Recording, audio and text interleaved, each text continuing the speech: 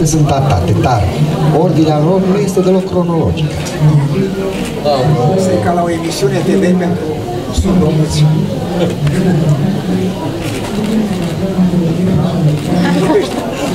Nu că eu tak, adică vorbim, am predat ștafeta.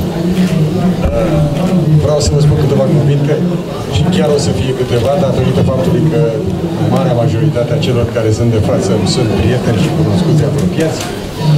Uh, N-am făcut niciun fel de, de publicitate pentru această lansare, pentru că eu sunt piteștean, nu prea aveam cum să fac publicitate în București, mai ales într-o conjunctură ca asta, în care în acest spațiu uh, expozițional sunt așa de multe edituri, fiecare cu alte lansări și cu autorii care de care mai important. Ca atare eu sunt mulțumit că sunt și atâtea persoane aici, vă mulțumesc tuturor că participați și o să vă spun câteva cuvinte despre cel care își lansează azi uh, cea de-a 15 și a 16-a carte de când s-a apucat de nebunia asta, care a acționat ca un drog asupra mea. Am început să scriu târziu, în jurul vârstei de 50 de ani, și de atunci nu m-am mai oprit. La fel, nu m-am mai oprit de vreo 30 de ani să călătoresc.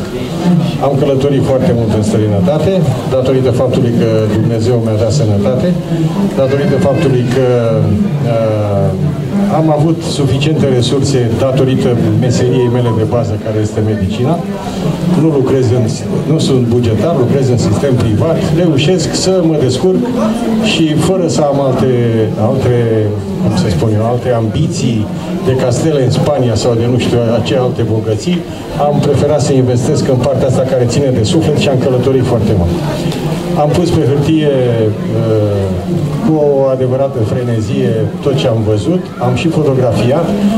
În cartea care este astăzi aici, care se numește Lacrima Indiei, sunt și 150 de, de fotografii, zic eu, foarte reușite, care sunt făcute de mine și de cei care m-au acompaniat.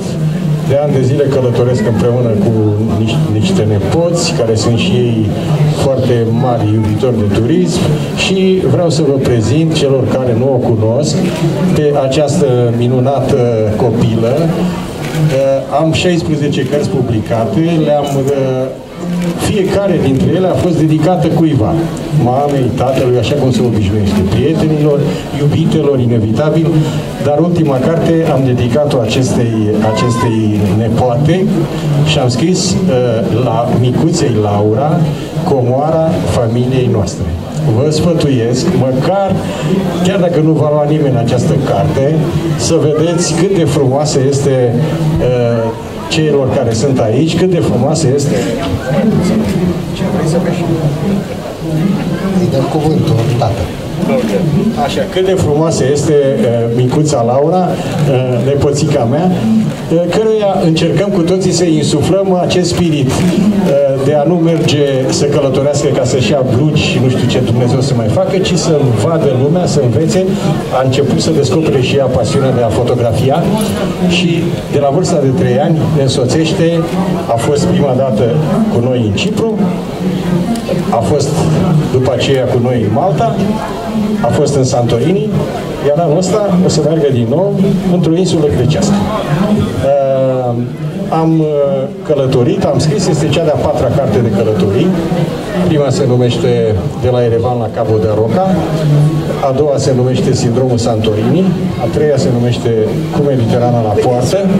Cu Mediterana la poartă am văzut în, nu sunt foarte multe, sunt în jur de 32-33 de țări, dar asta datorită faptului că ani de zile, de exemplu, am fost și am călătorit împreună cu nepoții mei și cu un veteran al dermatologiei românești, care este aici de față, și care are o vârstă uh, incredibilă la care s-ar mai putea face aproape turism, exact ce spunea maestru aici de, de grupurile de, de senior, de, cum se numește, senior în voiaj sau senior, uh, uh, cum se numește Mircea, senior, da, uh, are o vârstă nemaipomenită, a fost și el cu noi, ne-a însoțit. Uh, și a patra carte se numește, acea, este această Lacrima Indiei, vrând să sugereze faptul că am călătorit în decembrie în insula actualmente numită Sri Lanka.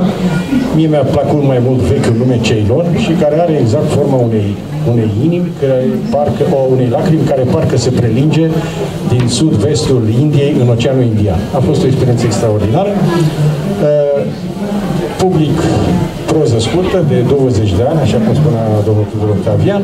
Am adunat mii de, de tablete și ca o ultim, un ultim răspuns pentru domnul Ioan, eh, eu în momentul când, eh, când adun în jur de 200, 200 și ceva de tablete, le aranjez în or, într-o ordine pe care eh, nu neapărat în ordine cronologică, dar la, de fiecare dată, la fiecare se scrie data când ea a apărut în presă.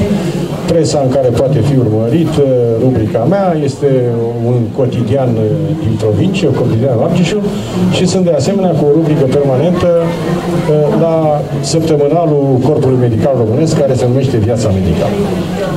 Vă mulțumesc foarte mult că ați fost aici alături de mine ce să spun, uh, vă doresc tuturor, uh, așa cum ar face de fiecare dată un medic, vă doresc sănătate, că e mai bună decât toate. Dacă nu scrieți cărți, faceți copii. Și dacă nu scrieți cărți, faceți copii.